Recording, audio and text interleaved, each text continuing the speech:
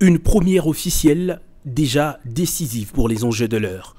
Récemment investi à la tête du bureau définitif de l'Assemblée nationale, Vital Caméré a été reçu le lundi par le président de la République, Félix Antoine Tshisekedi.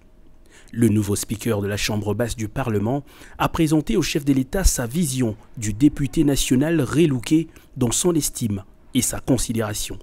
Sans surprise, la question de l'investiture du gouvernement est largement revenue au cours de leur entretien. Face à la caméra, Vital Caméré ne balbutie pas, le gouvernement sera bien investi avant le 12 juin prochain.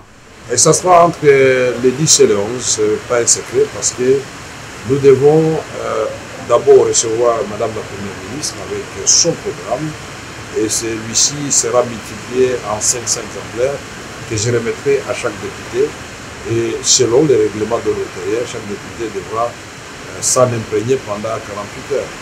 Donc je ne sais pas faire autrement. Donc Madame la Première ministre, qui nous suit à ce moment, si elle veut être euh, investie le 10, le déposer le 8. Reconnaissant le mécontentement affiché par certains chefs des regroupements politiques de l'Union sacrée après la sortie du gouvernement, le président de l'Assemblée nationale en appelle à la retenue et à la priorisation de l'intérêt général. Nous devons mettre fin à ce genre de discussions euh, qui nous dégradent parfois. Nous devons trouver des solutions à nos problèmes sans donner l'impression au peuple que nous sommes en train de nous partager un gâteau derrière son dos. voilà pourquoi nous allons parler avec les députés, je de parler avec le président de la République. Il m'a en tout cas rassuré que la province d'Imaniema, qui était oubliée, va être finalement reprise dans le gouvernement. je voulais voir le président va commencer les consultations des différents groupements politiques de maires qui sont représentés et à l'Assemblée nationale et qui ont eu des ministres au gouvernement.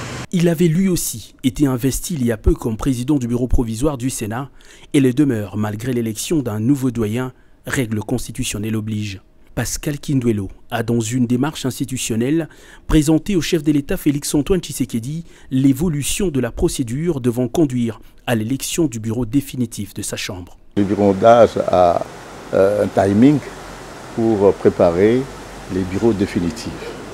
Et là, nous sommes satisfaits parce que euh, mes collègues sénateurs et moi-même, et nous, nous sommes réellement euh, dans le, le, bon, dans le sens que d'ici euh, 10-15 jours, et les bureaux d'âge aura terminé sa mission qui lui est confiée par euh, la Constitution et, les règlements d'âge. Ce n'est donc plus qu'une question de jours pour que toutes les grandes institutions du pays soient légalement investies.